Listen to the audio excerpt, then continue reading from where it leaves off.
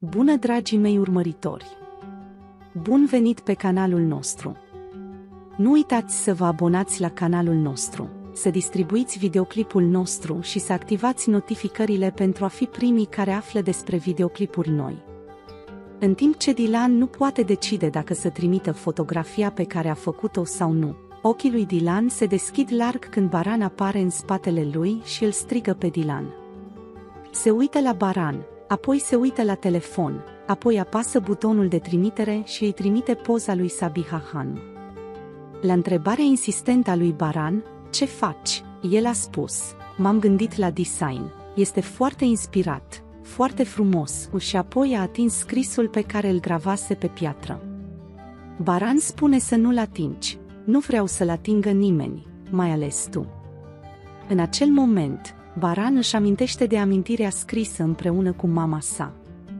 Acest manuscris este prea curat pentru a fi atins de cineva care îl trădează, mai ales când spuneți tu, Dilan se întreabă, ce am făcut? De ce ți-am trimis acest design la care ai lucrat din toată inima? Dilan pleacă apoi, spunând-ți mă duc la bucătărie. Baran este cel pe care îl arată lui Dilan și adoarme în pat din cauza oboselii. Plângea gândindu-se la conversația cu Baran în bucătărie, regretă fotografia pe care i-a trimis-o Sabihai. Se spune, Baran, iartă-mă, ți-am ucis visele pentru a-ți salva viața, iartă-mă. După aceea, Baran îi aduce ceai și vede că Baran a adormit din cauza oboselii. În timp ce Baran doarme, Dilan își scoate jacheta și oftă, dorindu-și să-ți spună că te iubește. În timp ce încearcă să-i scoată vesta lui Baran, acesta observă rănile de pe degete și aduce cremă de aplicat. Dilan se întinde și el pe pat și îl privește pe Baran. Tocmai au adormit și Baran a fost primul care s-a trezit dimineața. Baran observă că îi se aplică cremă pe deget și apoi se întreabă dacă Dilan mi-a dat jos jacheta, dar nu a făcut-o. Dilan se trezește apoi și amândoi se încăpățânează spunând că se grăbesc să meargă la baie în același timp, dar Baran este cel care merge la baie. În timp ce domnul Cudret și doamna Azade vorbesc despre modul în care Baran a muncit din greu pentru această muncă și și-a reflectat dorul pentru mama lui pe acest colier, Dilan îi aude. Domnul Hasan spune, numele nostru va fi cunoscut lumii, atunci ar trebui să spuneți așa și doamna Azade răspunde, sper că da.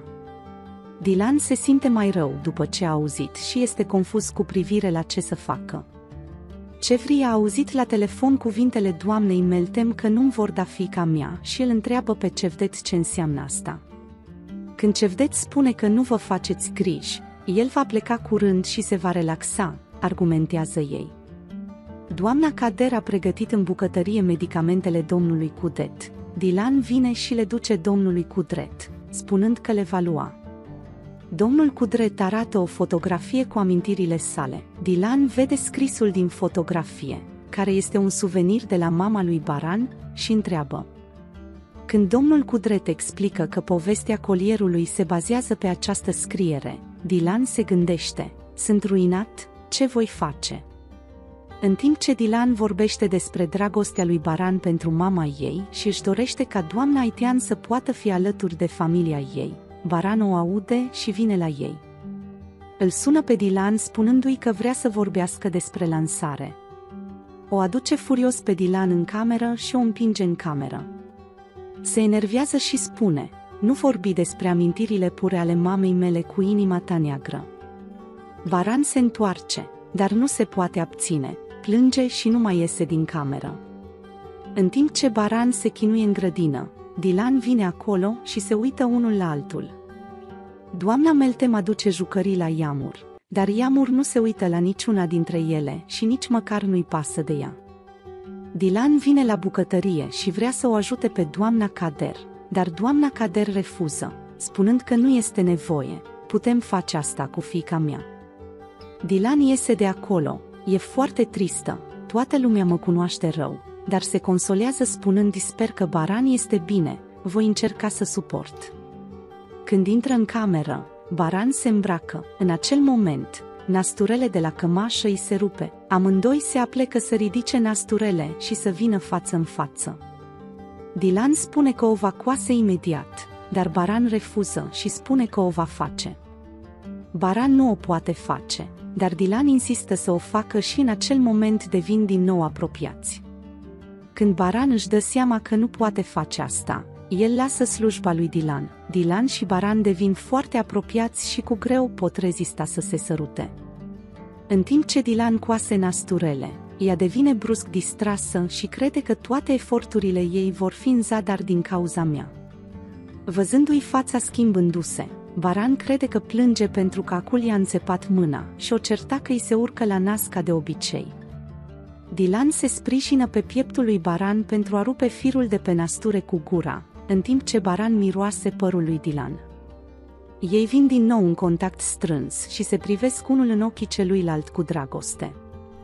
Baran este foarte încântat de lansare și îi avertizează pe doamna Kader și pe Gul să nu rateze nimic.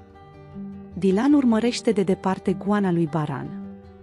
Pe de o parte, Dilan se întreabă care este planul lui Sabiha. Deria a sosit și când doamna Azade dă vestea lansării lui Barn, domnul Hasan și Deria se întâlnesc față în față. Deria se comportă de parcă ar fi fost surprinsă și emoționată, de parcă nu ar fi știut despre lansare. Când Deria îi spune lui Frat că urma să vorbim despre nuntă, Frat se înfurie și spune că nu vrea o nuntă, o nuntă este suficientă. Oaspeții lui Baran încă nu au sosit și acesta devine curios și îl sună pe Kerem și îl întreabă de ce au întârziat. Între timp, telefonul lui Dilan sună. Dilan se ascunde într-un colț și îi răspunde. Sabiha îl cheamă în spatele conacului.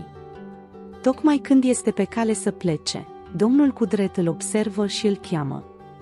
Îl întreabă pe Dilan dacă există ceva care îi atrage atenția. Lui Cudret îi pasă de părerea lui Dilan și îi spune lui Dilan că este importantă pentru el. Baran ia colierul pe care l-a făcut din safe și îl arată tatălui său, domnul Cudret.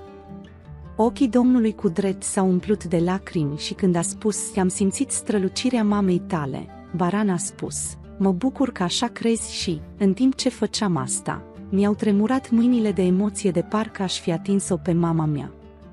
Dilaa vine la Sabiha Han și îi cere să înlocuiască colierul pe care Sabiha Han i-a dat-o cu colierul făcut de Baran. Ne poți împărtăși opiniile tale valoroase în secțiunea de comentarii.